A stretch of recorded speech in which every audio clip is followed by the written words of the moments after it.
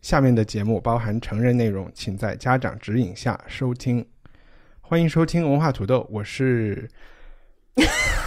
我刚才也想我是文化土豆，欢迎收听文化土豆，我是伊康糯米。一百零一年前，尤里西斯最早是在大西洋对岸的美国文学期刊《The Little Review》上连载。它的作者仿佛徒手在文学的大陆架上撕开了一片阴云密布的汪洋大海，成为一个世纪以来企图扬帆抵达彼岸的读者，更别提作家内心里的百慕达大三角。就连一直给乔伊斯打 call 的伍尔夫也说过这本书极其无聊，翻了区区两百页就受不了了。这期文化土豆，让我们和两位尤里西斯的幸存者、艺术史学家张雨林，还有编辑高露颖一起误读爱尔兰作家詹姆斯·乔伊斯的天书。尤里西斯，大家好，大家好，大家好。高露颖，这是你提议我们一起读的书，你要不要先自罚三杯，讲一讲你的感受？我已经受到惩罚了。这本书看到我生病，就是感冒上火，然后喉咙痛，然后整个拖延症到大爆发，深刻的怀疑自己的智商，直到现在，就是呃，我来一帆家做内容的前一个小时，我整个人都是处于要崩溃的状态。是内容让你崩溃，还是？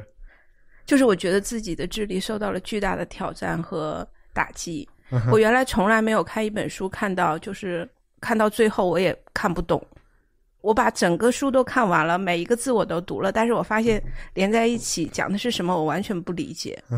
就那种焦虑感，就像我要去高考，然后我发现数学我什么所有的公式都不记得，然后我也完全不理解这些公式是什么意思的那种感觉，对，就是这种痛苦，所以我已经得到了惩罚，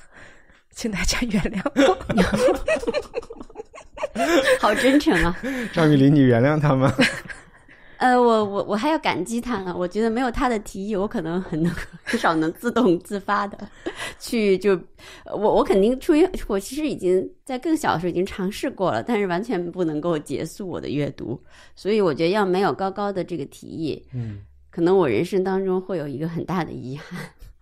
了解这么一本特别不一样的书，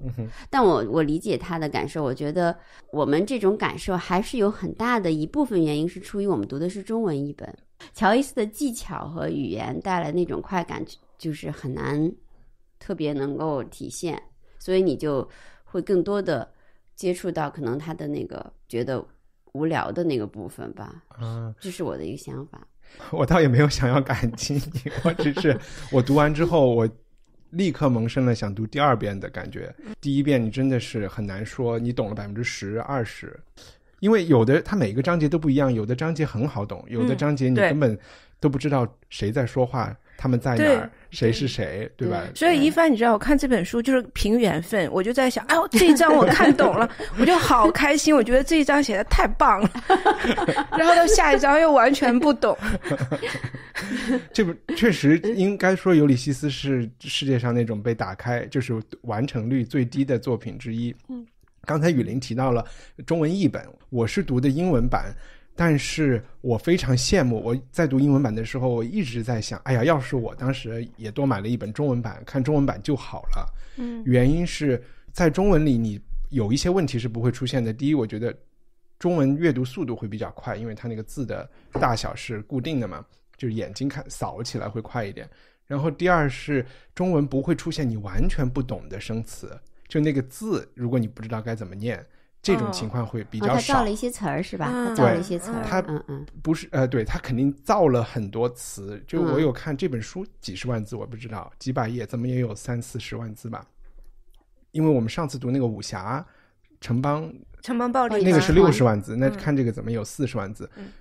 有人统计过，有三万个不同的英文单词在里面。对，我们日常中可能就用几千个，就是正常的所谓的那种母语，嗯，说母语的人，对谁来说这里面都有大量的词，一部分可能是爱尔兰土话，嗯，或者一部分是呃一百年前的人的一些俚语，嗯，然后另外一部分就真的是，我记得有的时候我查查一个词，我也现在也不能特别举出例子，就比如说。我们中文会说沙发，有的人不是喜欢在沙发背上搭一个毛巾去盖着它吗？嗯嗯，对。我们中文里你会怎么形容这个词？你怎它肯定是没有一个专门的词的。但是英文里在曾经，可能一百年前大家是有一个词的，但这个词你看了你就会完全不认识啊。所以我读书的时候，其实就是遇到很多词汇量上的，但我通通都没有查，就基本没有查了，我就就啊，也是凭缘分。这个 你们也通通都没有去读注解，还是有的地方会去读一些注解。我在第一章的时候试图去读注注解然后还翻到前面去把注解对照一一去看，然后我发现好像也没有什么太大的帮助，所以我到第三章以后我就完全就没有看注释了。只有我特别迷惑的，就比如说他一些人称代词指代不清楚的时候，我会去翻那个他或者是那个女他男他到底指的是谁啊？这种他都有注解的。对，有的有。我 中文版这个注解注的就是说。特别的喜，嗯，而且他最后那个就是是那个茉莉那张哈，他都特别贴心的把那个应该就是应该有标点的地方给空了格，对对对对，所以就完全不一样，感觉不是你因为读英文那么痛苦。他对他是其实是 虽然是没有标标点，但是他有断句，基本上就是还是把句断了的。所以以前我们我没有读之前，我对对一张最后一章充满恐惧，但是我现在看完以后，我觉得。最后一是一个 最好理解的一章。这这里我可能稍微补充一下，就这本书它分成了十八章，嗯，然后最后一章也是比较出名的一章，在形式感上是小说的女主人公第一次正脸见大家，然后他就一通这个术语叫什么？是意识流，对吧？对对，就是一口气说完了好几万字。嗯，在英文版里是一个标点符号都没有的。刚才提到的那个空格，但我也做了一个弊，就是我发现我现在读小说比较喜欢的一个，也是一个比较土豪的做法，就是我买一个电子版，然后再买一个电有声版，有声版，嗯，有声版放着，然后自己眼睛就看。这样的好处就是说，很多词汇，就是你那个读，首先它会帮你断句嘛，然后其次是那个。我不知道你们如果有这种感觉，就是有时候你去看话剧，特别是比如说莎士比亚那种，如果你读书你是不知道他在说什么的，但是他有了那个语气语调以后，你大概明白他是他的喜怒哀哀乐。其实我也有作弊，就是我最后怎么搞懂这个故事呢？是我在 B 站上收到了一个纪录片，这个纪录片其实它就是有人物扮演的，它大概讲了整本书的一个故事是什么样子。然后演的很夸张，很话剧戏剧性。我也看了，那个就是就是叫做 Greatest Modern Write Writers 是吧？对。然后 One of 就是 One of the Greatest Modern Writers 就就伟大的现代主义作家，一个就是这个。对。演的还是那个演阿加莎·克里斯蒂里面演的花后那个人，叫什么波波罗呃大侦探什么波罗翻译的什么？对，反正就是那个比利时人，是那个人演的那个布鲁姆。对，那个纪录片很奇怪，他很多扮演部分，对吧？好玩死了，他就把。把每个章都演一遍，然后又出来有有人评论，对，有人出来评论一番，很好玩那种纪录片。所以让大家头疼的是，你不知道他在讲什么，是这个原因吗？因为你不知道他在讲什么，所以他前后的那个逻辑联系就。你就会让你特别不耐烦，就是断裂的，你就没有耐心看这一趴他到底在干嘛，就这样快速的过下去，然后就是哦，他去了下一个地点了。但是他在每一个地点，他都会遇到不同的人，说不同的话。其实让我头疼的是这些人的聊天的内容，让我不能理解。但是也是每个字都看懂了。对，每个字我都懂，但是连在一起，我不知道他们在讲什么。我是会有，我不知道他的他从哪儿来要到哪儿去，这是我不知道的。但我早就放，我就读了一阵，我就放弃了。我就唯一就是说啊，如果这两句话我恰巧看懂了，我就来就是体会一下这两句话的，就有点像。我也跟你一样，我完全是意识流的读法，跟着他走。反正就我把它就是说，不是我故意的，就是可能我对视觉比较敏感，我就感觉是反正就是。就是被视觉化、被电影化了，这样吧，说的最准确。就是反正这俩人对话了，然后周围有这个人、这个人、那个人在吃这个东西。所以你看，你你们关注的是细节，对，然后细节里面的情节。嗯，我关注的是结构，就是他到底接下来又要干嘛了？他接下来又要干嘛了？他跟这些人到底是一个什么样的关系？我特别在乎这个，所以我就特别纠结。OK，然后或许这个是作者想要让你放弃的东西，但是 我们首先为了让大家不要太一头雾水，我们三个人呃，就是每个人能不能用半分钟、一分钟的时间来讲一下这讲了一个什么故事？那我的三十秒的这个就来了，就来。尤里西斯讲了一个二十四小时在都柏林发生的。呃，不是讲了一个布鲁，讲了一个 尤里斯西斯，尤里西斯讲了在爱尔兰首都都柏林呃的一个一个居民，一个中年广告男布鲁姆，他在二十四小时内早上起床吃饭，然后出去参加葬礼、看剧、逛窑子、洗澡，然后呃晚上又碰到了一个年轻人，交了个朋友，把他带回家，然后一起在花园里尿尿、看星星的故事，全剧终。好，然后谁再来再试一次？讲吧，我可以讲那个。然后我来补我来补充一下这个细节啊，就是这个叫布鲁姆的男人是一本是一个报纸的广告商，还是一个非常普通，然后有点有点潦倒和落寞的一个中年男子。他是一个有性功能障碍的人，然后他的妻子又是一个非常风骚的他有。性功能障碍，对，这点我怎么 我没有看到。他有 性功能障碍，OK，你指的是就是他很长时间没有跟没有跟他太太发生过那啊，那个种关系。是心理关那个呃没有啊好，我们待会儿再说啊。然后呢，呃，然后他明明知道自己的妻子有情人，并且在那天下午要跟他的情人约会，所以他半是躲出去，半是无目的的在都柏林城里游荡，呃，然后就发生了刚才一帆说的那一系列的故事：吃饭、参加葬礼，在外面鬼混，然后中途还去医院看了一个要生孩子的孕妇，然后遇到了另外一个男主角叫史蒂芬，嗯哼，然后他和史蒂芬好像突然找到了彼此，成为灵魂的朋友。嗯哼，嗯，好，雨林，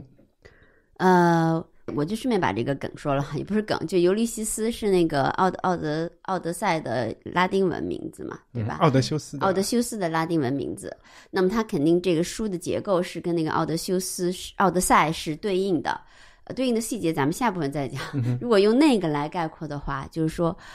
奥德赛是用了快二十年的时间，对吧？十多年，然后呢，历尽艰险，回到他忠诚的老婆身边。那么布鲁姆呢，是那个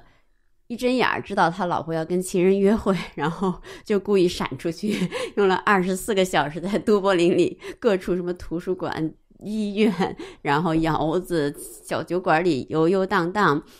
最后呢回到了他不忠诚的老婆身边。嗯哼 OK，那就是我的版本。，OK，那现在大家大概知道了这个嗯故事的梗概以后，我们就来讲一些关于这个小说的背景。先，呃，要不要拼凑一下？就是乔伊斯是一个什么样的人？刚才我们有提他是爱尔兰作家，然后我就只是想一开始先说一下，乔伊斯是爱尔兰人，然后爱尔兰是一个有点像苏格兰、威尔士、英格兰一样，它是一个民族，但是在历史长河中，大部分时间它都是英帝国的一个，你可以把它看成一个属地一部分，一个省，也许是一个殖民地，嗯。就是看你站的角度不一样。在这本书讲的，就是这个小说发生的时间，爱尔兰还是英国的一个省，嗯然后对。这本书的出版和爱尔兰独立是同年二二年发生的，嗯，但其实乔伊斯也又不是一个生活在爱尔兰的作家，对吧？嗯，他其实大半生是游荡游荡在欧洲，对，嗯。然后嗯，他在都柏林生活的时间并不长，对，然后这本书其实是他写给他妻子的一本所谓的情书，然后因为为什么这么说呢？因为这本书里面所记录的时间就是他跟他妻子见面认识的那一天，嗯，也就是六一九零零六年吧，还零几年的六月十几14号。十四号，嗯对。然后他把这本书写完，送给他的妻子。然后可是他的妻子，嗯，其实也没有看完，可能看了只有一章还不到。然后就跟他抱怨说：“为什么你总是写这么让人难懂的东西呢一九零四年的六月十？”四对。，嗯，嗯乔伊斯的生平很容易去查嘛，但是嗯可能和这个小说有关的，我记、哦，我你是能想到，想说生平对对是吧、对他是他一八八二年生在都柏林的，然后我觉得跟这书比较相关的就是一一个他少年时期的教育，实际上是纯粹的天主教教育，而且是耶稣会士的。耶稣会士是以两个出名，一个当然肯定是严格的天主教，呃的一派，然后还有一个是他们基本上以学识见长，嗯就明代啊，在咱们国家 传教的传也好多都是耶稣会士嘛，礼，所以是呃礼仪之争啊，什么都是耶稣会士来的。至今为止，就是其实现在在北京有很多大学的这种古典学的，或者是表面上是英文的老师，也仍然是耶稣会士。哦，对，嗯，我以前在北大的时候就碰到过一个，嗯嗯对他们是都是学问很渊博的，嗯、所以我觉得这个乔伊斯在严格的这个耶稣会士的这个呃，可能是男子学校吧，就当时读出来跟他这个非常渊博的一个知识体系还是有关的。当然，他肯定是个求知若渴的孩子。然后他其实有一段时间也在挣扎，是自己是不是要去做教师。后来在十六岁左右吧，还是就是非常奇怪的，就是到了完全的另外一面，就是强烈的反对天主教，反对这种、反对这种信仰。嗯，我觉得这个这一点，就他少年时代这个经历，跟他后来离开都柏林、离开爱尔兰去巴黎。反正当时谁想要自由，都先去一下巴黎，对。在巴黎再看再去哪儿。他离家以后就就去了巴黎，学习的就是医学，所以其实他整个的人生经历跟我们《尤里西斯》这本书里的史蒂芬非常像，就包括他其实出生在一个天主教家庭，然后他生活在是一个爱尔兰独立运动，包括他的父亲酗酒，然后他妈妈是一个虔诚的天主教徒，最后他呃曾经犹豫犹就是犹豫过是不是也要从事天主教的这个事业，但最后放弃去巴黎求学，在巴黎认识了他的朋友，那这个朋友就是这本小说里穆里根的一个原型，然后跟他的朋友们混在一起，每天过着有点浪荡子的生活，跟史蒂芬的整个遭遇非常像。那我们可以其实也可以理解为这本书里面史蒂芬的某些抑郁也好，或者是他的意识流的一些描述也好，其实就是作者本人的想法。嗯嗯，嗯如果他可以简单的概括成一个人的话，因为在在尤里西斯之前的那一本书，嗯呃，《Portrait of an Artist as a Young Man、嗯这本书里，斯蒂芬就是主人公嘛，然后那个东西是更像一个半自传、文学自传的对一个对对对的，嗯。一个东西。嗯。然后我好像还记得，呃，乔伊斯曾经也是受过唱歌训练，然后有点喜，他是一个很喜欢音乐的人，他还曾经，有点想去以以此为业，嗯当一个职业的，呃，肯定不是那种流行歌星啊，嗯。不是那种 boy band，是我想跟唱歌剧啊，或者是这，种，嗯。我，想跟天主教会有关，他肯定有那种啊。合唱团啊什么的，嗯。嗯嗯，对他小时候他反正他后在这本书里，我们也可以看到，对对书里有很多对曲谱啊之类的东西。也有一段嗯。跟音乐相关的讨论，嗯什么对对。呃瓦格纳，还有什么嗯。之之类的。而且我记得他是一个，其实有乔伊斯的生活他并不富裕，医生也没有当医生，然后也神父也没有当神父，嗯。然后歌唱家也没有当成帕瓦罗蒂，但是他一生都很喜欢音乐，呃。嗯。因为是个才子嘛，写东西赚钱，一直有有那种美国有一个贵妇一直在秘密的资助他，嗯然后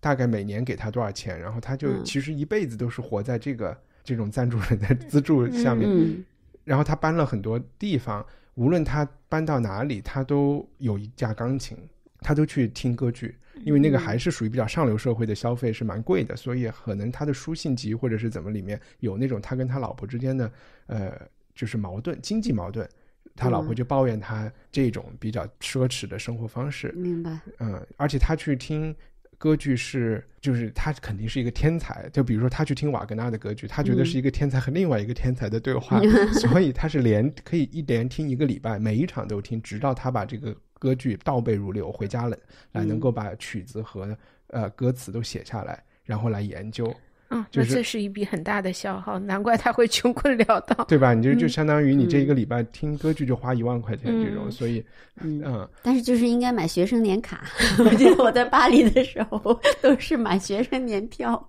但也许那个就已经是听。社会主义兴起之后对的对的才有的事情了。他生活的那个年代还是嗯狂热的资本主义年代。是是是是是，现在都是二十六岁以下就可以。然后他生平中还有，我们知道他在巴黎生活过，他还在意大利北部一个叫 Trieste 的地方，对，离克罗西亚就是呃克罗西亚，对，他也不算意大利，算奥匈帝国的一个地方。边界对边他界的在一个地方意大利、法国、西班牙，他在欧洲很多国家都苏黎世、对瑞士，嗯哼，都瑞士死掉了，好像是流落流浪过，应该叫流浪吗？呃，他属于这种叫自我的这种逐放吧，嗯呃他不愿意待在爱尔兰，但具体嗯什么原因我也不太记得，但我记得他是十二指肠溃疡死的。对，但他后来也得了眼疾，他有一只眼睛失明了。嗯哼，哦，他眼睛失明是很嗯。那个的啊、就是很，当然好多肖像都是一边儿眼睛嘛，对嗯，所以其实很奇妙。你看他后半生基本是在一个游荡的过程，但是《奥德赛》也好，《尤里西斯》也好，是一个归乡的故事，就是他最终回呃奥德修斯最终回到了自己的故乡，但是呃乔伊斯他最终离开了自己的家乡都柏林。所以我在这本书中常常会觉得他对都柏林好像没有爱。虽然他事无巨细的描述都柏林城市的风情，可是我觉得语气中流露出来的是对那儿的人没有什么爱，是讽刺的感觉。我我我记得一个特别有趣的说法，就是写发条橙子那个英是一个英国人，嗯哼，Anthony Burgess。Anthony Burgess，Anthony Burgess 他很喜欢有很喜欢那个乔伊斯，但他也很了解爱尔兰，所以他就说乔伊斯离开都柏林的原因没有别的，就是在那儿没法写作。因为那个每天大家男人都在酒酒酒馆里把说太多话，吧该说的都说完，回来就 exhausted，完全没完全不想再写任何东西了。说说真的是这样，他说爱尔兰人特就是爱尔兰很多男的哈，其实乔伊斯自己也有对这个，好我忘记他是怎么反讽，就是很多男的就是在酒馆里待很长时间，然后见到谁都啊一帆你好来跟我聊两句，然后 那个又高高来了又就是。非常的，其实他们聊起来又好像很戏剧化，每个人都像演员一样，就是非常对话题很漫无边际，但是这个话题有的时候会非常粗俗，嗯、有的时候又极其的高雅，就是对它不是那种 small talk，对吧？它不是寒暄式的，对，不是，也不是我们说谈天气，就谈的是很具体、对很非常具实质的事情体的东西。呃，这很奇妙。对，所以我觉得那个安东尼说的也有点道理。如果你就是很投入谈这么就费心费力，每天在谈的话，每天在讲话的话，回来就根本就什么也不想写了。嗯，对我读这本书的时候，前三分之一因为不太能明白他们在聊什么，但是会给我一个很强的感觉，就是这是一个非常欧洲的一个小说。我在英国生活，生活在伦敦，你难免会有大都会沙文主义或者首都沙文主义，你就会觉得爱尔兰是一个。边陲，然后都柏林是一个小城，但其实，在那个时候确实也是这样。它当然不算一个小城，它还是所谓这个不列颠岛这几个岛里的可能第二大的城市，但是它是一个殖民地，而且被殖民了几百年。我就觉得他们会有一种那种宿命或者那种哀怨，那种哀怨就是只能够借酒消愁，只能聊一聊。当然，我们现在可能新闻里听到的新芬党啊什么的，在那个时候已经有了，嗯，就是有这个民族主义的独立运动。但是大部分人，他们何止是只能聊一聊，那他 全炸了。对他们 没有那么只能聊一聊，可能。哎、呃，就是说给我一种感觉，就是就是作者有一个目的，就是想塑造一个和欧洲历史和欧洲人文历史关系很紧密的爱尔兰，就是通过这本书啊，嗯、就不管是他借用就是荷马史诗的一个壳子，还是或者是甚至包括天主教的东西，他喜不喜欢是一回事儿，但是毕竟这个东西把。把他们和就是希腊和意大利和整个天主教文化联系的更紧嘛。然后相反，如果我们在聊讲到脱欧的时候，英格兰它是一个就是在亨利八世的时候就已经脱离了天主教怀抱大家庭的一个东西，嗯、所以他做这件事情就也是我觉得是一个他对爱尔兰独立的一个一种贡献，或者是。一种就是比较自大的贡献，就是说爱尔兰还缺一个 文艺伟人，然后我要来充当这个角色。另外一个就是说，我要把爱尔兰的文化、爱尔兰的市井的非常草根的文化和和欧洲的历史和欧洲的这些渊源都发生一个关系。他也不是说我们是基督教的孩子，嗯，他反而通过批判啊、嘲讽啊这些东西，他反正发生了一个关系嘛。所以在这个基础上，我会觉得。他生活在巴黎也好，或者是生活在日内瓦也好，都还 OK，就没有那么离家。对，因为可能对他来说，就瑞士有什么卢梭，然后那个巴黎有伏尔泰，对他来说没有那么，他的语言能力也是这几个语言都会讲的嘛。嗯，所以你把就是欧洲文明是同样的一个文明的家，对他来说，对吧？你想对说的我对这个对对是这个意思，所以就可以不一定有那种没有、那种客死他乡的感觉，嗯嗯可是就是我我印象特别深，可能他离家在然后写爱尔兰，除了我们通常所说那种哈，你离开了才能怎么样？我记得海明威他就快很老很老的写了那个巴黎是一场什么流动的盛宴，嗯就 Paris is a mover feast，但它是有点纪实的写法，纯粹纪实的写人写事儿。但是他在那个有一篇文章里就写了，他说我特别希望，我多么希望我那时候就能写巴黎，但是巴黎就是这样，你就是你在里头的时候，你没办法写巴黎的。嗯我不知道是什么意思啊，但可能嗯，也确熟人实你，太多，应该是这个意思。而且对还年轻，还得跟他们混，得指着他们混。对，反正让我有一点想起，可能你不知道，就是有点像，但是他写的时候也很年轻哈、写这个美国有多老，嗯，就是你想，你有的时候像你一个老年作家，可能对。以往的事情反而细节特别特别清晰，或者是怎么样？嗯，但那个时候嗯会不会又害怕写了东西会被年轻人说已经过时了，或者是怎么样？嗯，不会啊，那个时候就不害怕了呀，老的老了，怕啥我是都不怕。我我们是嗯确实，如果你去看他写这本小说，有非常多的就是都柏林的细节。嗯嗯嗯，他是从图书馆里借了拿了都柏林的地图，这是肯定的，然后还拿了都柏林的相当于那种电话本、工商登记，所以他写的每一家店谁住在几门几号都是真的。对嗯以至于这本书出版的时候，最终得以出版的时候，在都柏林，大家很兴奋的事情都是互相问你有没有 被被写进入书里，嗯，所以我觉得他牛逼啊，他还嗯是很牛逼。这整个，我觉得这整本书哈，它其实要写熟人就全是熟 人。对，这个不就是说，他这整本书就是像一个艺术作品。嗯哼，就是我想说他牛的地方，就是他其实，它其实你要你要说这个，比如说你说你一会儿可能会说什么但丁四层意思啊，什么这样那样，就各种观念性的东西，各种各种很现代主义的东西，但是人家没有一个用的是抽象的东西，等于说全部全部就是实到不能，什么牛腰子啊，什么那个哪个哪个坟地的哪种草啊，什么哪种鱼游在哪个海滩的水里面，那那么多种鱼的名字，全部是非常精确的事实。嗯但它组成了一个从概念上来说是当时啊是全新的，是一个现代主义的理，就是经典的作品。其实是一个非观念性非常强的一个艺术作品。而且可能从你的考古背景来讲，你嗯会觉得，如果火星火星人拿到这本书，嗯，是不是都可以重建爱尔兰都那几那些都柏林人的可以从生活对，至少从那个气息和那个感受上可以重建很多。可能东南西北它不见得，因为它它太意识流了。嗯一会儿坐电车从这儿到那，那鬼知道是从东到南到西还是从北到南。我曾经看过嗯一篇陈丹燕写的文章，然后他说他大概去都柏林了四次，每一次都带着这本书，嗯然后他会发现，他就把它当成一个地图，就按照这个书里面写的地点，他会去游到游历整个都柏林。嗯我觉得这不失为打开这本书的一种方法。如果你实在看不懂这里面的内容的话，嗯哼，就是干脆去参加一个这种旅肯定行团，肯定有尤利斯，肯定有尤利斯的都柏林这种 special tour。这是一个工业，我想可能，而且反而在书里他提了一句话，就是这这句话你肯定看出他这本书里有特别多人的那种闪一下的想法，嗯他就说应该玩一个游戏，就是在杜柏林从 A 走到 B 不经过任何一家酒馆，嗯，他就说这这会是一个挑战。对，绝对的，嗯绝对的，绝对的，绝对的，这个是，这个是，嗯嗯。我其实还想分享一些关于，因为我学法律的嘛，然后我嗯在看这些背景的时候，发现这本书在法律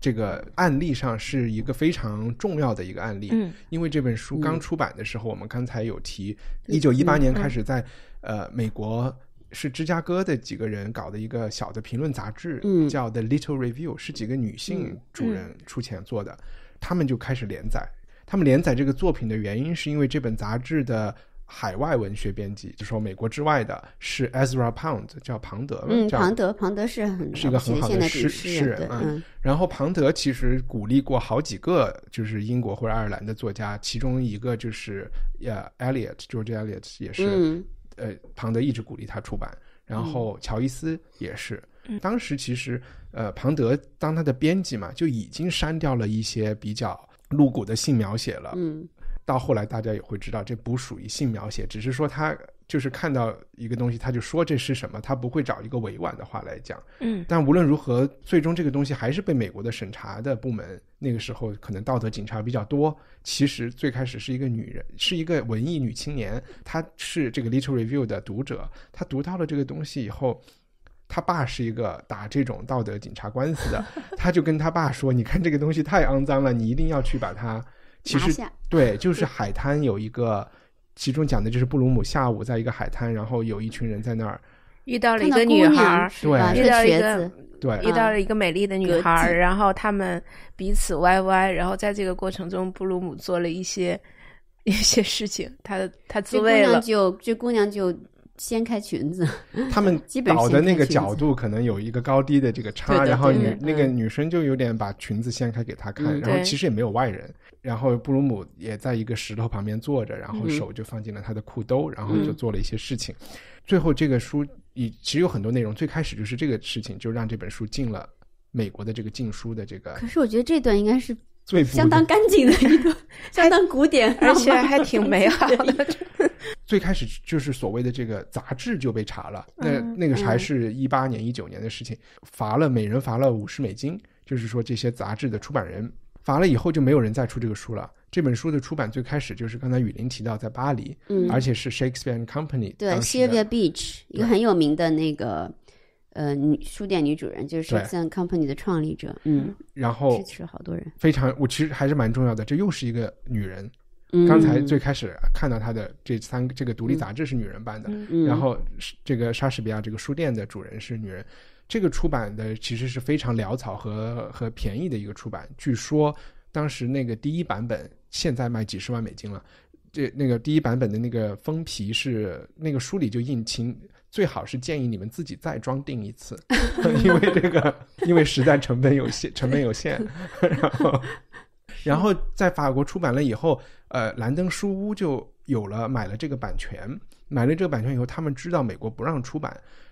所以他们就一定想要去打一个官司，然后才能把他把从这个禁书单里给拿出来。对不起啊，我这讲的比较长。然后这个官司是怎么打那？兰登书的老板就专门就是去安排了，因为这个审查是海关嘛，和我们今天在飞机场有人查一样，安排了有人从法国寄了一本这个书来，嗯然后他就去跟匿名给法国呃给美国海关打电话说几月几号几天哪个船上哪个人带的行李里有一本《尤里西斯》是禁书，请去查了。嗯他们还非常的有心机，就是在这本书里放了很多欧洲批评家对这个给这个书写的书评，都是嗯赞美的书评。然后，因为他们是希望这些东西一一起被作为证据在法庭里被展示，嗯而不是说他们需要去单独要求说哇，我还有一个证据，法官也许说嗯这个东西无关，所以他们就说这些书评好评得一起呃被抓到。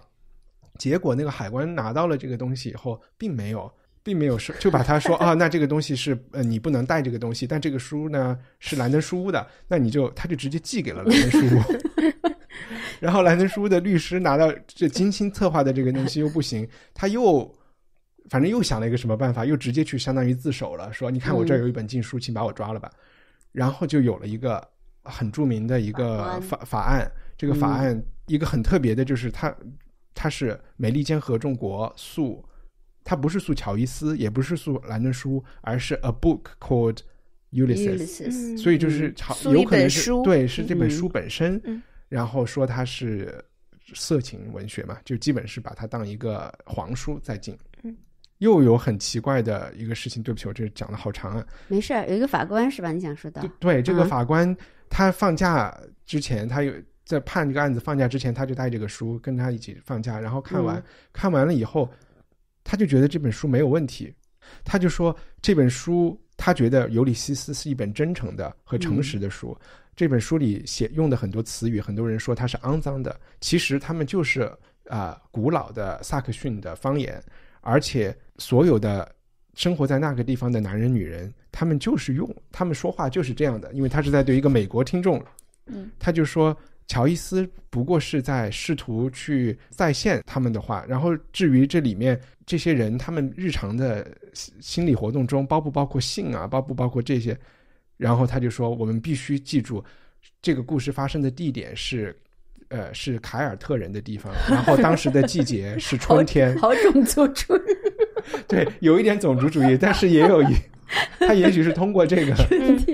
对，他也反正就是把想让他过，嗯，对，也可能是好意，假装傻，然后让他过，然后呃，美国的这个纽约的检察官就申诉吧。又去申诉啊，然后那又到了更高一级的法庭，这一个法庭上最后三比二还是让这本书出版了。法当时的这个法官说的话，也就是写在最后的这个呃意见里面的，也很意思。他就说，法官是这么说的，他说艺术当然不能不能被要求必须从在传统的这个表现形式上来实现进步。他说，在艺术这个领域里，没有什么比限制实验性实验的权利更令人窒息的。然后他还提到了大约一百年前，比如说在审查拜伦啊这些的事情，他都应该让我们警醒，这是一个愚蠢的判决，而且本身可能就是有罪的。然后他就说，这是给所有要去限制创作者工作边界的人，应该是一个警告。他说，我认为《尤里西斯》是一本有原创、有原创性和真诚的作品，而且它没有促进性欲的效果。因此，它不属于法律条文 这个禁止的范畴，即便它会呃冒犯很多人。嗯，然后反正它就是说，它的标准是这个东西年轻人看了以后会不会发情？然后，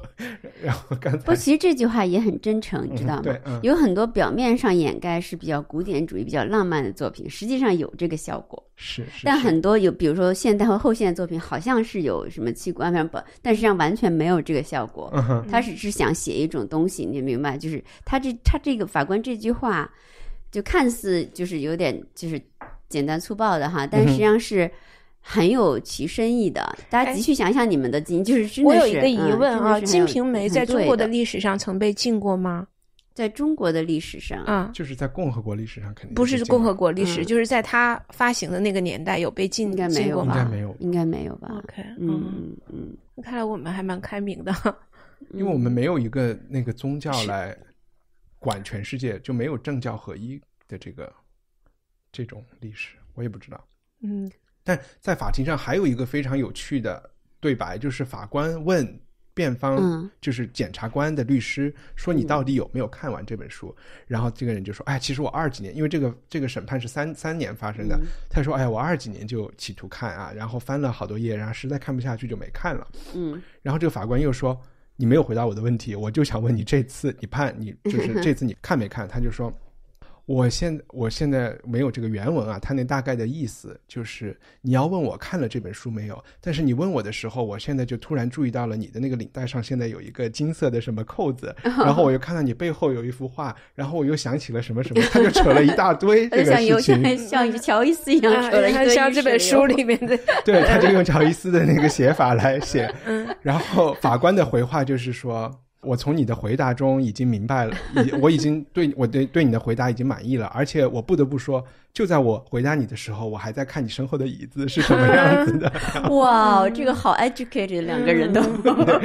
简直很棒，很棒，简直是好现代主义。精彩。我觉得这个整个故事是一个非常现代主义精英的故事，应该把它拍成电影儿，把这法官啊、前一个读的人啊什么的，就是包括兰登书这些人啊，什么就全都给其实是可以成为一个很精彩，趣的电影。很精彩。好，嗯嗯，啊，我们我们要这个版权啊。对对对对对，任何人不得盗用。对，然后这就是我刚才就是特别拖泥带水的介绍了一下出版的经历。嗯，嗯。我还有一个问题，我不知道雨林有没有时间去看，就是嗯就是乔伊斯和艺术家是他们，你你有去看就是什么未来主义的什么吗？他有，我倒没看未来主义的什么，他就是他有一个很好的朋友是个艺术家，但是这个艺术家本身不太有名。啊，但是他说了一句很有意思的话，我查了一下，这个这个艺术家叫什么他确实不是一个有名的艺术家，所以叫好像叫 Frank Budging 或者之类的，就是不是一个特别有名的艺术家。他一直跟这个艺术家，呃，是个好朋友。但是他问过这艺术家一句话，他说：“你还一直没告诉我，呃，你怎么想我最后那一张？”嗯就是写那个他老婆就是嗯茉莉那一张哈，就是，然后这个艺术家回答了一个词，我觉得是对乔伊斯和整个不是现代主义小说、现代主义艺术和现代主义精神的一个，他说你这个就是 Cubist。嗯哼，嗯，对，其实 Cubist，比如说毕加索，毕加索画的那个大家都知道那个阿维农少女，不嗯就是大家哇第一一出来大家觉得哇很震惊，其实毕加索它的意义更在于一种它对现实的解构，就是说就是这样一个立这个立体立方体的盒子一个 cube，但是我把它压扁了，等于说从各个角度去画它，然后把它们再又凑在一起，个平面对，再放在一个平面上嗯。当然这是非常简化的一个解释啊，大概的意思的方向就是这样，就是。我觉得它更是一种对现实的解构，然后把多个维度都同时展现。所以乔伊斯其实他，比如他，特别是在最后这段，对吧？他一会儿一飘到这儿，又飘到那儿，飘到各个人的身上去，然后再把它在同一个维度上展现这个女人。她那个回答，我觉得其实也是乔尤利斯斯很多其他章节的一个精神，对吧？他一会儿会。嗯，比如那个神父，他说那个神父搭了电车去什么哪儿？好像第十章里那个，嗯，然后，但是他其实又又抽回来，从另外的角度，这神父在电车上的时候，这个人在干嘛？干嘛？怎么想？那个人在干嘛？这就是把时空也是这样，把一个立体的什么的，是是是，先压扁，然后再从各个角度都把它又重新组合在一起，嗯，就是一种对现实的解构。然后，所以说毕加索不能说是一个纯粹的抽象主义者。跟没有人说是毕加索是一个纯粹的抽象的，那像康定斯基啊，或者像后面的蒙蒙德里安那样的抽象主义的，于是说他是一个，就是想是立体主义的方式来解读这个世界。所以总而言之，艺术家朋友对呃乔伊斯的这个尤利西斯这个反应，就说他是一个 cubist，我觉得。这个很到位，对我觉得非常准确，对，非常非常准确。嗯，我就记得这个回答，我觉得非常，其实其实是很经典。这也是现代主义精神的一个挺重要的一面吧，就是说，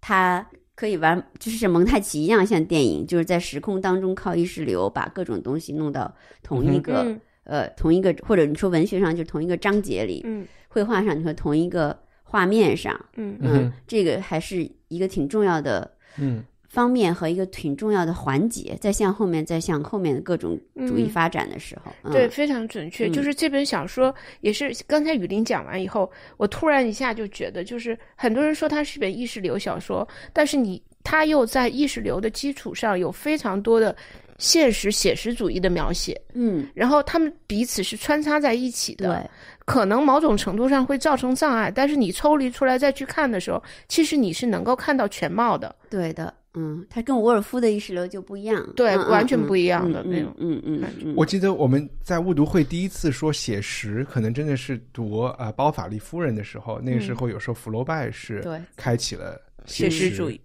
但那个时候的写实是有一个，不管是第三人称还是一个人，我们都在告诉你他在想什么。嗯。然后是人变了还是？还是写实变得更写实了，还是没那么写实了？这到底写在不在写实？就他传统的。我把这个问题问完，就是说到了乔伊斯的《尤里西斯》的时候，我们也说他写实。但是不管是从第三人称的叙述，还是第一人称的内心，我们都不确定他到底在想什么，他都变得很模糊。呃，他视角不同，等于说包法利夫人，他还基本上是，但是福楼拜其实有很多他的现代性了已经有了，但是就现在不说，就是比如包法利夫人或者更现实主义，什么狄更斯那种，就是《双城记》啊什么的，他还是比较是上帝视角，嗯，就是说，哎，我在空中看，哦，高高现在在点头，他穿着一个蓝色条纹的，而且他的逻辑非常清楚，等于说他能看见，他能像作者像上帝一样，可以讲所有人的心理，然后都，但是都是朝着作者这个起承转合讲的。然后，但是这样就是说，他其实乔伊斯他是一个综合的，他也有上帝视角部分，说好像他看见每个人在怎么动，但是他突然钻到你脑子里，嗯，那一帆就觉得啊，我今天下午就，嗯，这个就是说啊，这个装修的声音一直把我搞得最烦，然后其实我在想别的想那，但实际上这个事情是是只是你的视角。所以，所以你的视角并不代表整个所谓客观的世界啊，所以其实没有什么客观。然后他再跳到高高高的脑子里，我可能正在刷杯子，然后我又想对对对对，但这个到我脑子里跳跃，所以说读者看不出一个。而且跳跃的过程中的人称指代是非常模糊的。我不仅是在说他作者选择跳跃，是把把视角转变，像立体主义一样的转变，而是说，即便是在一个人的立场上，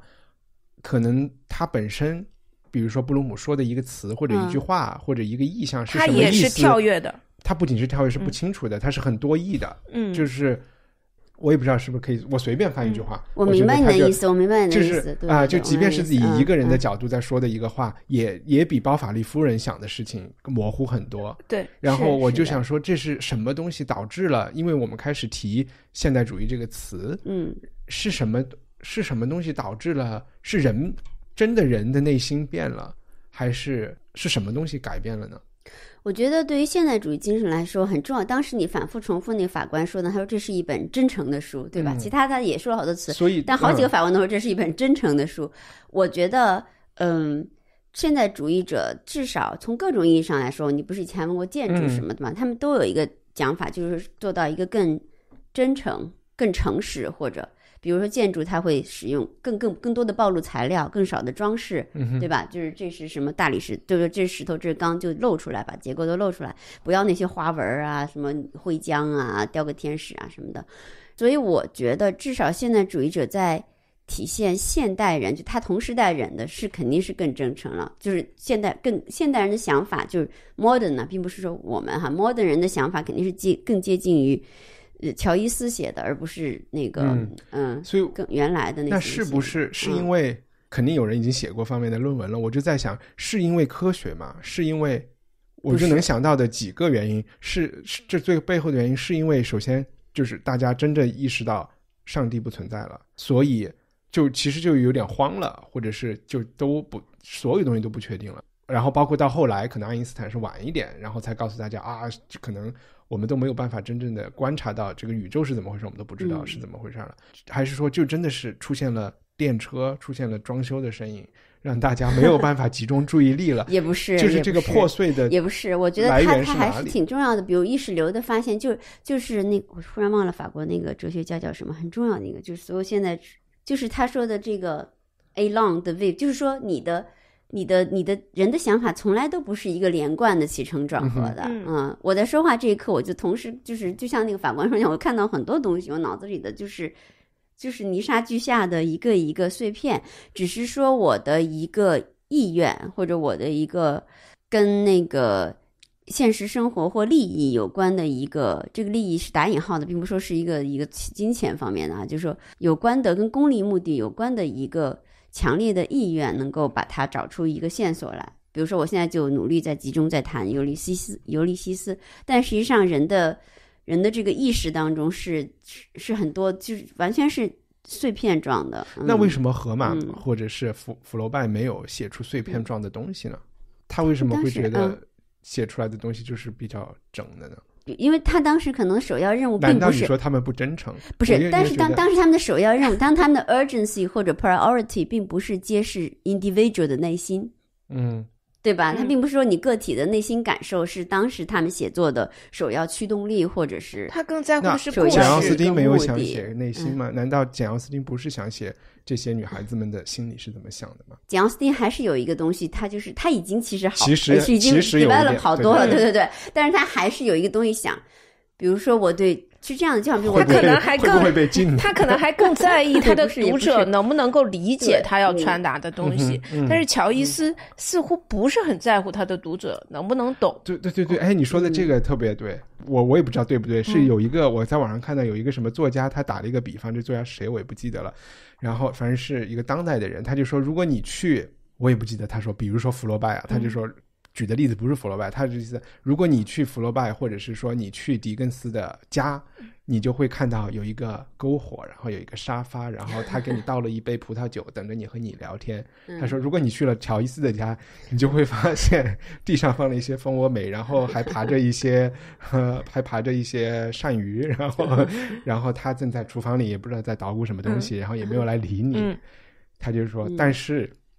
你要知道，乔伊斯的这个虽然对你不是很友好，但是这个是 the real thing，对，嗯，嗯嗯嗯嗯嗯嗯，是这样。就是没有包，没有没有想过要包装。嗯嗯，OK，不，实际上是努力揭开包装。我觉得我们每个人都很很容易变成狄更斯的待客方式，但是很难变成 所以我觉得这可乔能，伊斯的待客方式，对吧？这可能是要就是努力的，这可能就是我看书的时候，我就觉得，呃，界面不友好。对我对这界界面非常不友好，对读者也不友好。然后 又所有的人都说它是一本伟大的书，我就真真的中中途几次在想，这是不是虚名？就是因为大部分人看不懂，才觉得它伟大。嗯对，但是我全部都看完以后，我又回过头去想，就是有哪一个作家能够做到像乔伊斯这样去使用文字、使用文体？我觉得好像挺难的。他真的是，他那个掌控力很很奇特，嗯也也不能用简单的说掌文字的掌控力强来说，他真的是有天才的。我觉得是天才的。他有，他有，他有嗯很，我觉得他牛的一个地方，就像我们以前也说过，就是这些现代主义者哈，就不管他们都是要讲究要求新，像包括波德莱尔什么的，他们手底下活儿都特别好。嗯嗯这个这个活儿就我我记得有一个，正好艾略特有一个评论，哦，还不是艾略特，是一个英国的杂志，嗯哼呃，叫做 Egoist。，Egoist 啊，对是在英国最早对对对出版了一些就是片段性的，但是这个主编最后还是就用道德实在受不了这嗯个道德上太那个了，他但是林林肯他他比如他说这是尤利西斯是比乔伊斯先生写过的任何小说都更苦毒、更肮脏、更挖苦的凶。他认为啊，就是这个 Altin 曾认为是人对人性的极端侮辱，但是他连他他也不得不承认这个。说作者对文字的驾驭出神入化，能表现出任何他想表现的东西，肃穆的东西、反讽的东西、让人作呕的东西、陈词滥调的东西、挖苦的东西，就是他的在技巧部分，对所有这些文学相关的技巧，包括对结构的技巧，包括对节奏的技巧，这都是无人能及的。就连就是，反正伍尔夫也是，伍尔夫虽然也最后是还是本来他和他先生做的小出版社想要出这个书，嗯，最后还是放弃了，就是觉得有些方面太受不了，他还是觉得他不、不体面，而且会无聊，嗯，嗯所以呢，伍尔夫就想来想去还是放弃了。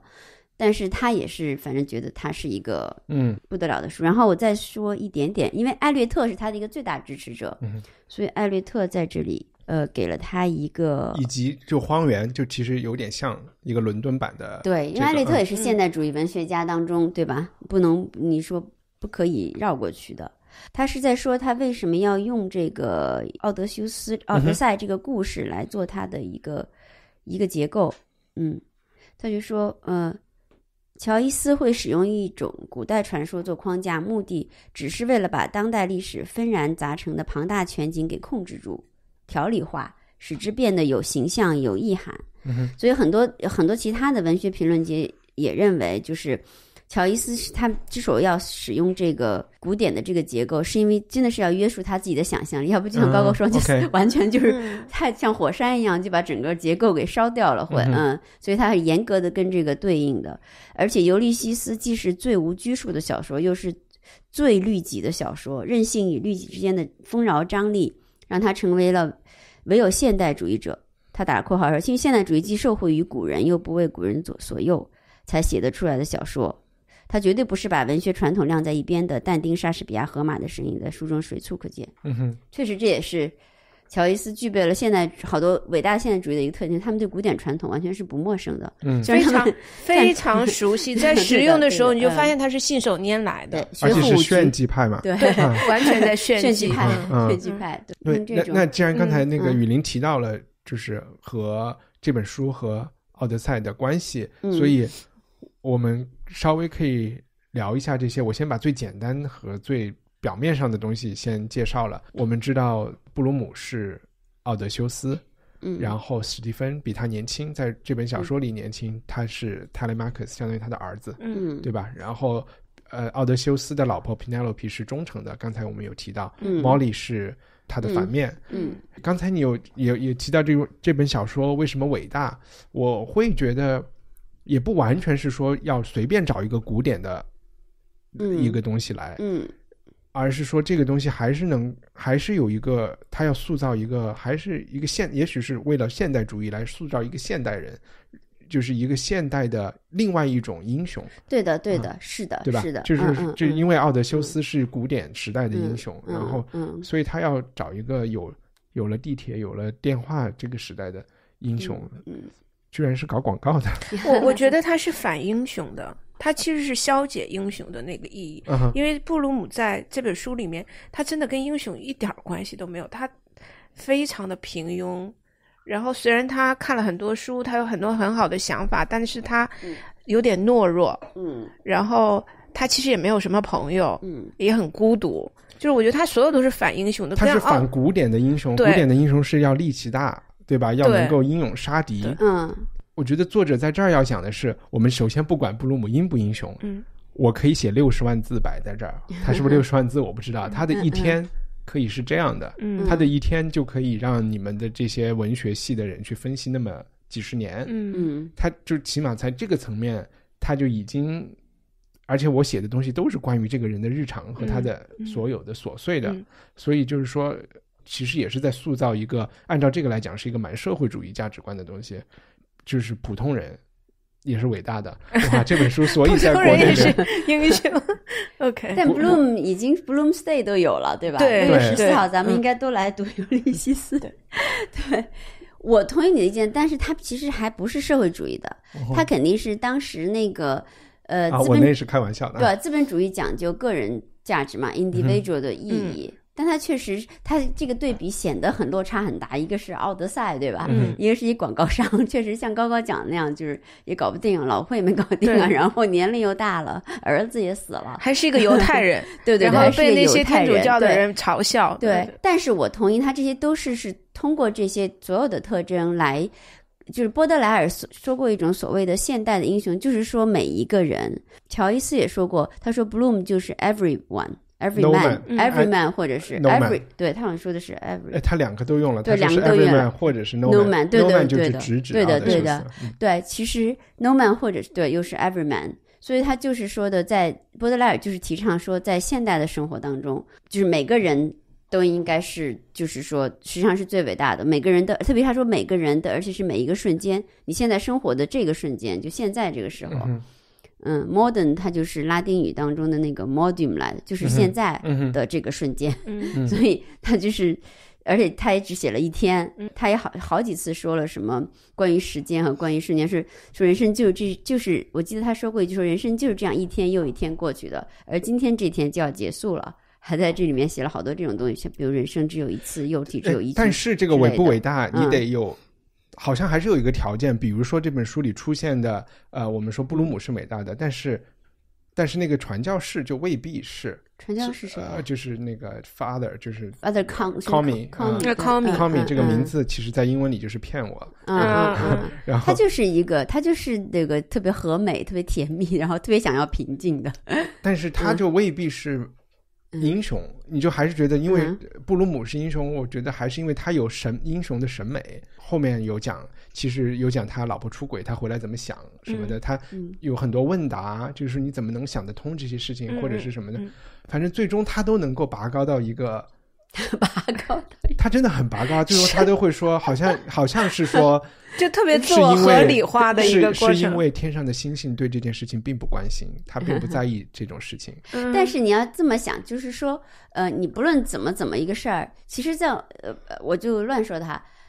因为在现代生活中，你个体碰到的问题，比如你个体，你很难去碰到一个世界大战或者怎么样的哈，你的世界大战是个大问题，但是很难是你个体真正能够，就是说真正个体面对面的一个问题。那你个体碰到的问题，你老婆出轨，就跟当时奥德赛要杀一杀一屋子人，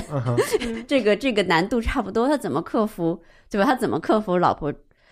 住在嗯今天出了轨，在这房子里出了轨，嗯然后他自己还回到这儿一个状况，就跟奥德赛回到那宫殿里杀了一屋子人，就是血溅嗯，整个大厅，实际上是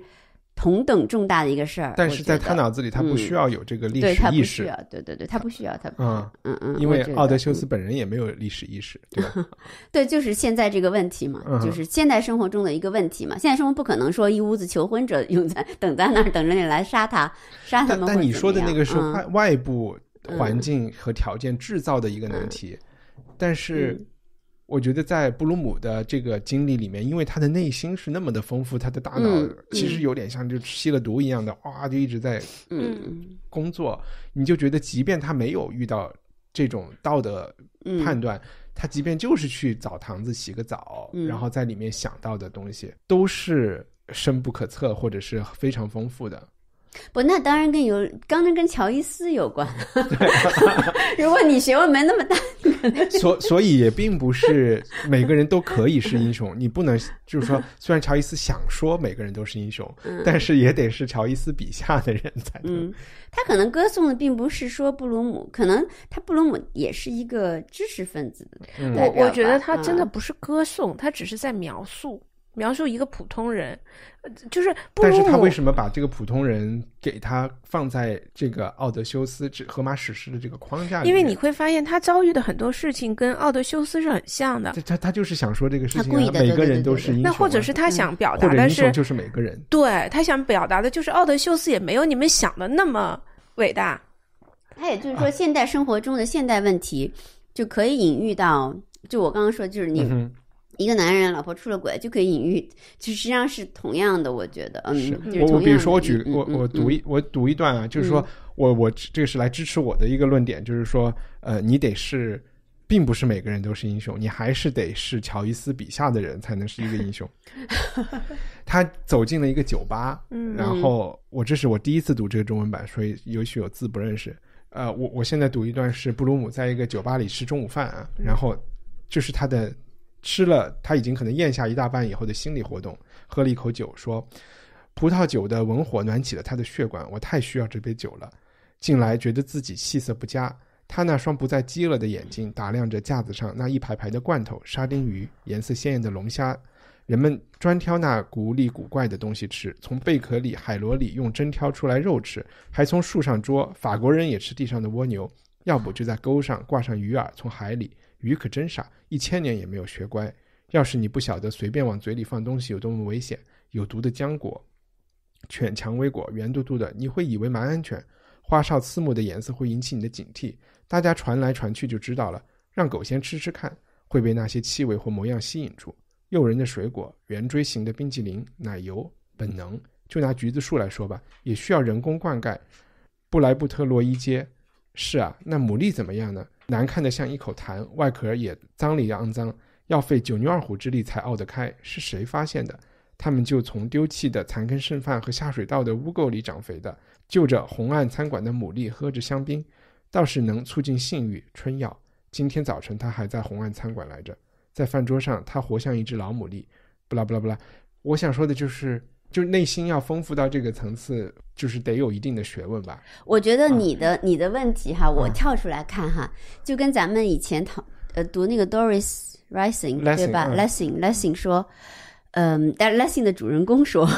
就是说小说有好多不同，一种是反映社会现实，对吧？像什么托斯卡纳阳光下的什么 生活呀之类的啊，托斯卡纳阳光那种哈，就你觉得哦，你不知道托斯卡纳，肯定很想读读那本小说是怎么样的。但另一种是他理想当中的，他肯定是要，肯定还是要给你一个平行宇宙的，对，给你一个世界观，给你一个平行宇宙，给你一种毕竟是跟现实生活不一样的东西的。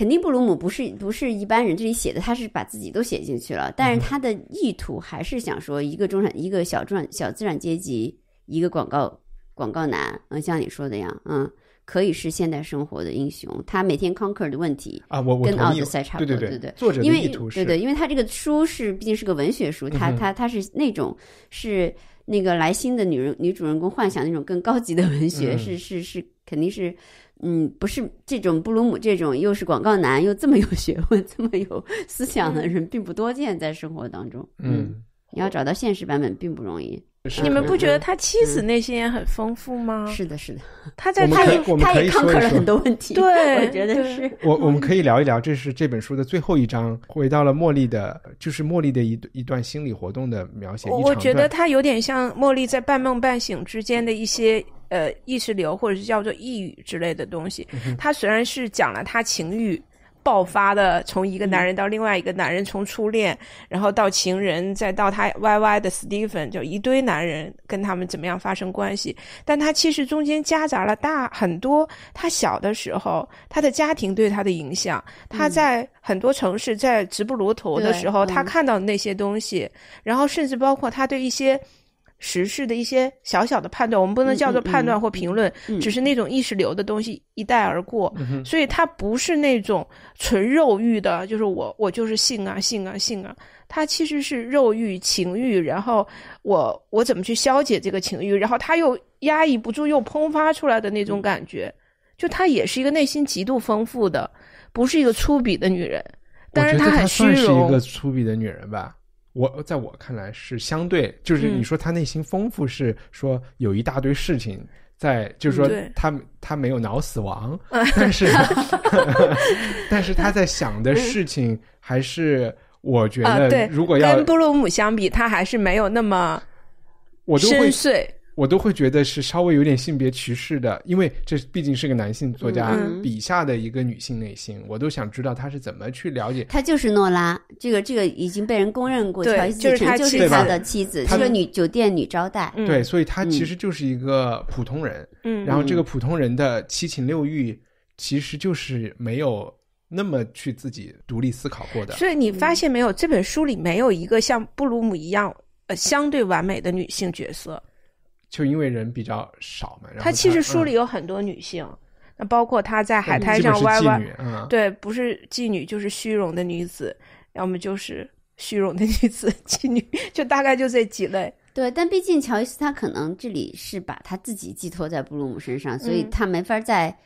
呃他老婆就算是最诺拉对对对对，他还是很欣赏这个诺，包括他嗯。老婆诺拉，还有这个茉莉这个人这种人，因为他诺拉也是碰到他，他们很久也没有结婚，嗯所以其实诺拉虽然是一个酒店女招待，不是那种那么知识分子化，嗯。但是她在行为举止上也不俗的。当时嗯。就很久也没有结婚，直到很晚才结婚，而且反正他们也他也称赞格诺拉是一个特别 honest 的人，嗯。就所有的精神都集中在 honesty 上面，嗯 就就肯定也符合他这种现代主义者的这种去浪漫化的需要吧。我嗯。对对对，我会嗯。觉得，因为可能嗯。特别从乔伊斯的角度，他会觉得那种维多利亚时期的中产阶级的道德观和他们的举止是虚伪的。对的，对的，嗯。对的，天主起码的呀什么的。对，所以在他笔下嗯那些呃，不管是澡堂子还是酒吧里的人，嗯。就嗯。虽然他们可能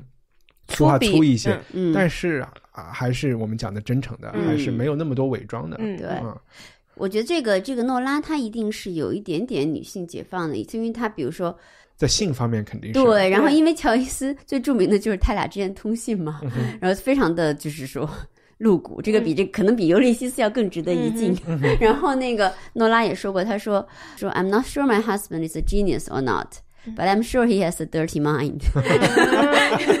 对，所以所以就诺拉还是一个不不寻常的人，至少在当时的社会环境当中，虽然他不是一个受过什么多少多少教育的人，所以乔伊斯一生也只有这么一个正式的，我觉得嗯，女朋友对，一生嗯。也就是就是爱，还是挺对他还是蛮忠诚的，还生了俩孩子，嗯。最后一直生活在一起。嗯，嗯，虽然很晚才结婚，嗯。都一直没娶她，可以的，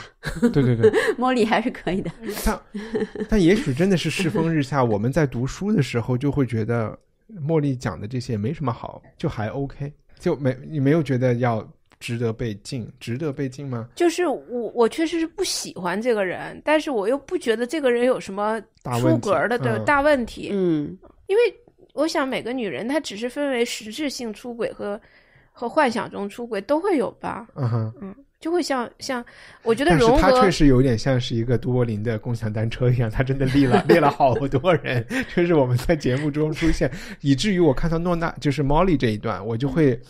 让我重新去想，之前和和布鲁姆打交道的这么多人，全都在他家睡过，然后我想任何一个现代女一个人我觉性都有过这样的经历，我觉得我感觉是哈，如果你看乔伊斯和他老婆这种形象，乔伊斯是一个病病弱弱的，对吧？眼睛半瞎，然后也长得深度近视，另外眼睛，然后长得也一般吧。嗯然后他老婆是高大健壮的，至少是丰满的呃，对，就像茉莉一样啊我我纯粹是就是说观察经验性的一个总结，但并不是说我我有什么道理。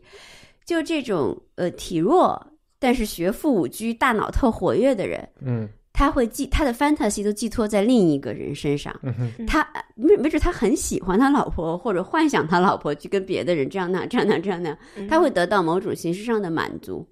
啊，我不知道我这个曲折的过程是是这样的明不明白？你其实就是想说他们两个人性欲嗯都是很强的，嗯，然后我说的比较直接啊，一个是通过幻想，一个是通过实际，是吗？我们这个马上一个人把自己寄托到另外一个人身上，因为你马上就会被禁，你赶快把这段给剪。我，我们说了有成人内容，请请辅导家长收听。然后，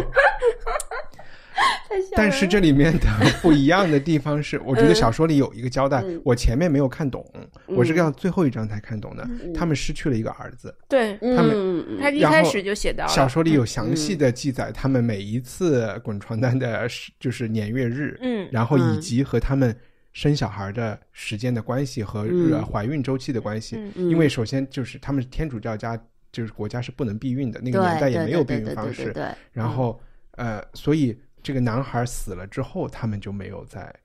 就嗯就就没有再上过床了。所以嗯你开始一讲，就是他是有什么性功能障碍，性功能障碍，我说嗯他其实只是可能心理上也是仅限于嗯他们两个人之间有性功能障碍。就他们跟别的人都可哎以。，可是他跟 就跟他通信的那个女女子，他们俩是不是没有实际发生过什么关系？只是柏拉图所以就像我说的那样，有的身就是特别是学究型的、体弱型的人，他的所有欲望都通过 fantasy 来、嗯来来来来更加。满足他其实他其实没准他到了现实，真的女子到他面前了，他根本没法弄，他根本就是也就没有的理解，那个。我的嗯理解是、嗯因为这个文嗯字实在是看不懂，所以不知道他到底有没有。我的理解是在这个小说的在这一天中，嗯他是有自己解决这个。啊，当然就是他这一天是自己解决，但是之前他是他是逛窑子的，嗯他嗯他是逛窑子又不，我觉得又不一样，跟你心里就是激烈向往的，可能我不知道，啊因为嗯，因为你可以就躺那儿，反正就是 可以确认的，就是他很长一段时间 我们已经比尤利西斯更加可 为什么一定要纠结于他有没有发生过那种事情？太真诚了。天哪！我们有说什么吗？我觉得还可以啊，我觉得还可以，但是你你你，反正我们可以把笑的这个删了，个这个就显得很正经。挺好的，挺好的，这就证明了这本书是所有难懂的书里面最有喜剧感的一本书，魅力十足的书，我是觉得它是搞就搞笑的地方还有，点多，挺多的。挺多的。呃，嗯关于政故意的就是它是那种荒诞的，啊，荒诞，他有一张超荒诞，但很有趣。嗯，就是他幻想自己一下子当，对国王，国王，对 然后又被人民众给推翻，就是然后一会儿又被审判，然后有一大堆女人跳出来说你用目光猥亵了我，就是很很他很还是高级黑了所有每个阶层的人，对，就是那种无产阶级对给这个统治者的要求，他也在嗯，高级黑，然后对对对然后那些呃，对你说的这些贵妇们的嗯这种虚伪的说，嗯，其实那种虚伪是被压抑的对那种虚伪，然后有。很长一段非常像 S M 的描写，那些贵妇说用鞭子抽他，抽他的屁股，就然后他又很高兴说抽来抽我吧，就是对。他，最后一张茉莉去跟神父祷告那个也很奇怪啊，他是。这茉莉就说他可能做了什么不好的，出轨了，去跟神父祷告，然后神父就要很具体的问，对，怎样怎样怎样怎么弄的？对，他他心里就想这重要吗？然后后来又好像直接就写他和神父怎么，着了，对的，对的。神父嗯拍了他屁股吧，嗯没有没有，他就跟神父应该是就睡了，对对对我忘了是谁就说过，确实尤尤利西斯这本书当时写出了很多从以前就是在尤利西斯之前，他伟大之处是从未在文学中表达过的人类真实的想法，对吧？以及比如说，上厕所，以及是 对对对对确实是就从未从未在尤利西斯之前从未特别真实，而且不止一次的表达出来，是大家都肯定是这样，就有的人是这样想过的，对吧？啊，然后我都有点震惊，就是嗯说以前文学作品里没有写过啊、就是出宫或者上厕所这件事情，还有放屁，还有对对对，以及 大量的写，茉莉写的非常详细的讲天自己怎么控制住那个屁，我觉 对，不仅这样，还写当时没有描绘就是在这个商品经济的初期，还有、嗯。还有广告专门来就是控制，是帮你放屁的吧？是帮你把屁都放出来的吧？不是让你放不出来的。我不知道，我忘。我忘记了，我 是有一个产品嘛，然后还讲那个产嗯品，还讲了好多用户的那种呃买家秀，然后嗯里边包括一个乞丐的买家秀，嗯，然后这个乞丐就说啊，这个用商品用的特别好，要是我当年当兵打仗的时候就有这个，就给我们发这个东西就好了。你就看他高级黑了多少层次的东西。嗯嗯，而且其实让我特，你说到这儿让我觉得特别意外的，就是他的市井生活的描写真的很细。就他有一段想讲他去配那个化妆水，真的让我都惊讶了。去一个药房给他太太配化妆水，对的，对的要用什么东西、嗯什么东西配，我觉得哇，那个时候的人消消费的东西好好啊。就确实你会觉得那个社会和我们今天看起来，除了手机之外，没有那么大，嗯，对，而且就是特别是和今天的中国吧，因为中国不是刚改革开放，也没嗯。没几十年，就是它里面布鲁姆有一段描写他的理想生活，嗯，他想要一个什么样的地方？嗯他不就是想要一个有地铁的学区房，然后然后有一个花园可以种点东西，嗯然后他真的就是，我觉得就是说顺意他想要，他想要顺意，对吧？嗯，对的对的，他想住在优山美地，然后对的对的对的，好像跟我们也没有什么区别哈。这真的没有区别。然后我嗯我也是在想，就是人是到了这个是工业革命造成的梦想嘛？因为你去问奥德修斯想要什么样的理想，嗯。他可能不会说，我也不知道他会不会说，他不就是想回到一一一但但他都是国王对，嗯嗯，嗯，伊卡塔也不是最大的一个国家，对对对，嗯。对，然后还问他说他可能再如果再要什么，再要什么你要什么的，他说啊养个兔子，还是就这些很嗯。嗯，非非常中产阶级的想法。他也没有说我要一个庄园，但是别人又这个做这个书里边又问他你怎么才能达到这个，有什么可能性啊？嗯，他又倒数第二章的一问一答，一问一答的那、嗯那一大段，特别有趣。到嗯后来嗯问他的可能性，他就是说什么，如果有什么罗斯柴尔德家族给他留了遗产之类的，他也知道这是不可能的，嗯就是在这个人生中，他的这个梦想，嗯这作者知道是不可能实现的。嗯，哎，为什么让让大家这样一讲完，我觉得这本书蛮有趣的哈，还蛮 有趣的？而且就是我们读懂了的那百分之十就已经对，蛮有趣的了。嗯。对，啊其实你你不不得不说，就是说乔伊斯这个人一定是一个非常就是还是很有很有趣的人，嗯，现代现代主义对活儿好，真的是嗯。好，就是你你就是活儿好的人，就是你即使。我记得我是跟一帆讨论还是跟谁讨论，就是活儿就是态度，对他不解释不解释他有什么这个态度那个态度，同意谁或者赞赞赏谁，嗯，嗯但这个这活儿就在这儿，呢 你没法绕过去，嗯，嗯所以我觉得他，嗯，不管你喜不喜欢他，他还是一个很伟大的东西，这个东西。好呀，那我们最后大家还有什么想补充说的吗？我要不要说一下你说的那句话？好呀，对，因为我我注意到哈，他反复出现了一句话，我这是我我最后想说的，然后你们再接着说啊。嗯他就一直重复这句话，叫做“人生只有一次，肉体只有一具”。然后一帆找到的英文版，他写的就是 “One life is all”，句号，“One body”，句号。这个我想给大家说，这个一是一个是表现他这个肯定是一个他这个书的精神，还有一个就是中文译本和 英文原文有多大的差别，节奏感嗯哼，啊、这就是我想说的。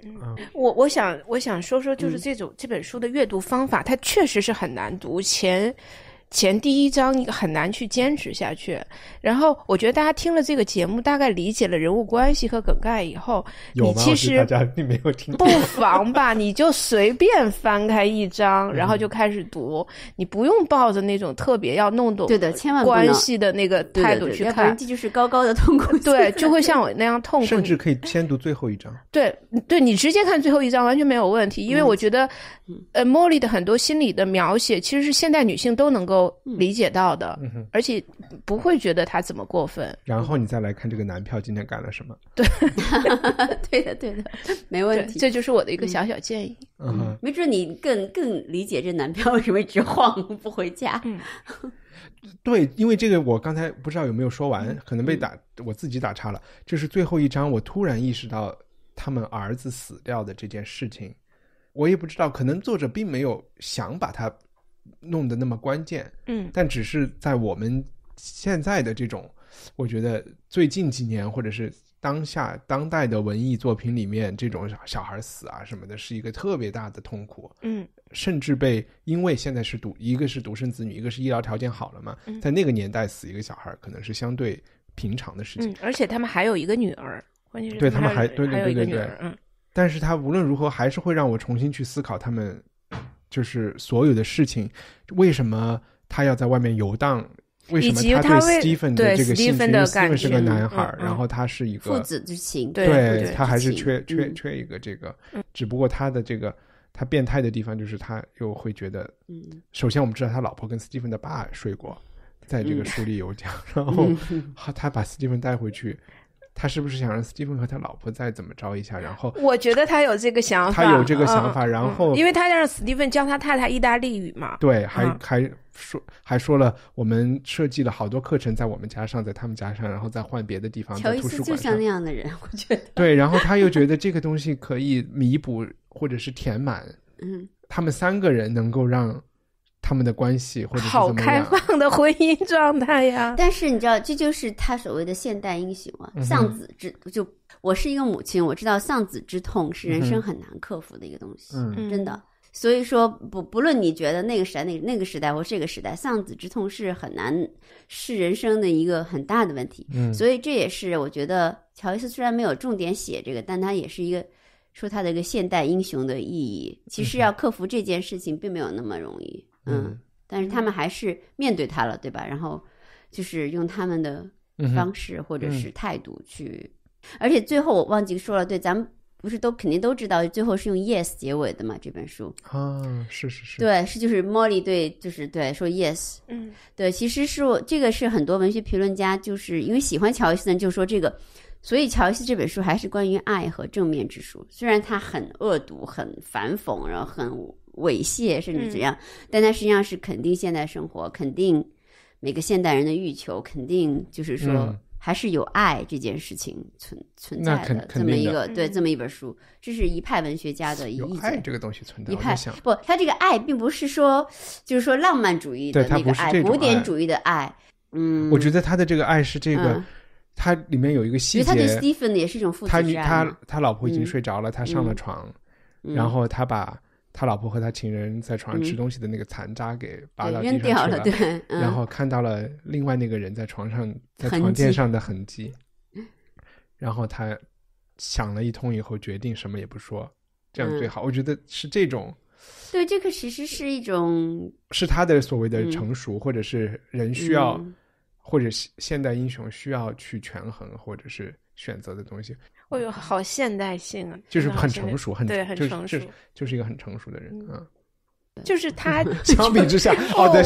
这些人全部特别杀了。特特别神奇的，就是他既渣嘛，他又不渣嘛，嗯你不觉得是有这种对对对感觉吗？嗯就他所有的细节，两你看啊，床上还有痕迹，这是一个多么 drama 的细节，但他表现的又又真的是每一个人可能你面对这个时候，你无奈，你只能这么去做的一个不 drama 他都不的行为是无奈，嗯，他都不是无奈，他都觉得，特别合理，是吗？对我觉得他都觉得这不是最重要的事情。嗯嗯，对，你说的对，嗯他觉得这个不重要。嗯，而且他他进入的那个细节描写都会，反正就非常细节啊，就他都会去设想他老婆做的所有的事情，然后这里面可能存在的，其实可能也并不如他老婆意的地方。这就是我的理解啊，就是我我也不太清楚他在描写一些事情的时候嗯到底在描写什么啊。然后我我最最后想说的就是，呃，我还是能看到一些经济层面的一些呃叙述，然后非常，而且非常非常的超前。它里嗯面起码我记得有两次提到，第一次他提到，呃，他肯定写这本书的时候在设想，在未来爱尔兰是会独立的。然后里面也有一些政治理想的一些呃所谓的 utopia 的描写，在他梦想自己当总统的时候，嗯。但他在不同的另外的两个场合，一次有提到，他说我们的国家完全有可能在每个新生儿出生的时候给他们多少钱，嗯然后这个钱百分之五的利息就可以让他们怎么怎么怎么样。嗯。那然后在另外一个晚上，他跟那个航海员还有斯蒂芬·布鲁姆他们几个在一起的时候，也有聊到有没有可能就是国国家的税收中能够给每个人每个月一笔保底的基本工资。嗯在这个其实，在现在是叫 universal basic income，就是每个人都能拿到的一个基本收入。嗯然后这样可以让他们不需要为温饱去选择自己要做什么事情。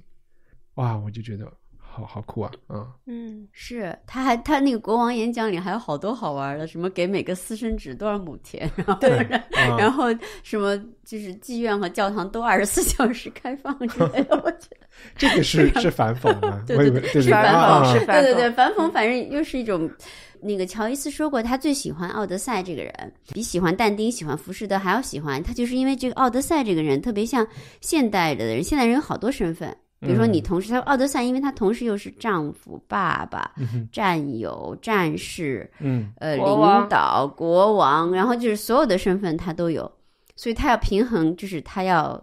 做这所有身份做的事儿，要要嗯 responsible for 就是所有的这些 identities。嗯。啊，所以他说他这个很像现，因为现代人有很难免有很多身份，嗯。你再不想有，你也得有有很多，嗯，嗯。所以他就觉得这是一个。就可能布鲁姆也有点这样，就他就是朋友，又是这样那样，嗯，就是很多身份，嗯，然后我就再说，嗯就是补充补充不完了一个细节，其中一个没太相关的细节就是，呃，乔伊斯本人他嗯不是也作家，就相当于没工作嘛。然后他中间还有一个生意的事情，就是有人出钱，在奥匈帝国的人出钱让他回杜柏林开第一个电影院。哦，这个然后不知道，对，然后嗯他、他还中间搞过这个创业搞砸了吗？呃我我我也不知道搞 起来，然后，然后第二件事情嗯。就是，在这本书里，他的女儿不太出现的这个人米莉，嗯。她的职业是当时非常时兴和现在所有人都做的事情，她是一个摄影师，对，他是个 photographer。嗯，但是乔伊斯和诺拉的女儿也很就值得，就是一啊直都也是的这个大家都会职业吗提的，好像是我忘了，反正就是一直在提这个女儿。OK，嗯，那这个米莉在在书中的米莉，她嗯是一个 photographer、那我们今天来看，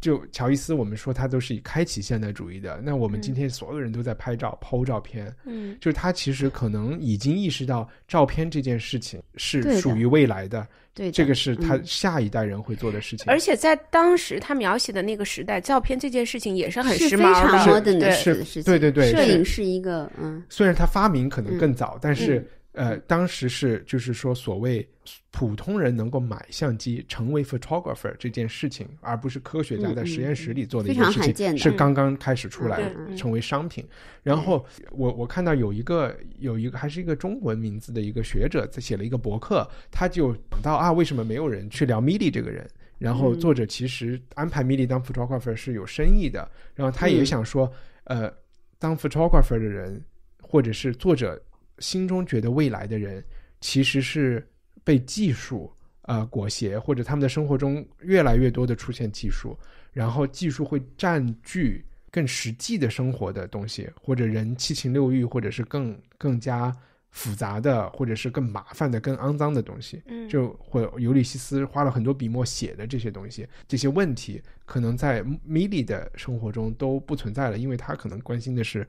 这个更新的相机是什么型号的，然后关心的是去拍照，然后但是那个照片照下来的那个东西和艺术家画出来的东西，或者是文字积累出来的这个东西是不一样的。我不知不知道是不是过度解读啊，但是反正嗯我觉得他有他，我就我不知道这个学者的意图，但是我倒觉得摄影它有一个就是跟尤利西斯可以相似的东西，比如说我现在咔给你们俩拍一照这边，嗯。但是我没没办法删去什么高高的水壶啊、嗯。紫色的后面的植物啊，嗯。你的冰箱啊，包括冰箱上所有的冰箱贴儿嗯都在所以更像是对，所以尤尤利西斯的写法就是对吧？就这样，你看，你你你你们俩是主体，虽然肯定大家都能立刻感觉到，但是所有的这些东西都在，就是泥沙俱下的这个这些这些噪音啊式的东西全部都在。我不知道摄影是不是，反正摄影是一个很 modern 的事情，这是肯定的啊。嗯，对对，有乔伊斯也有这种启示或者对，但这个是幻觉，这肯定是一个大师的精心安排。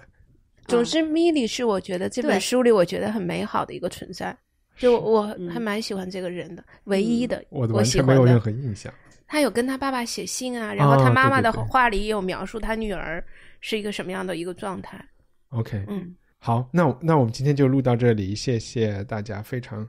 六月十四号不要忘记读啊，对六尤利西斯。对对，大家嗯可以先买了，然后六月十四号十布鲁姆日四号是布鲁姆日，对，然后我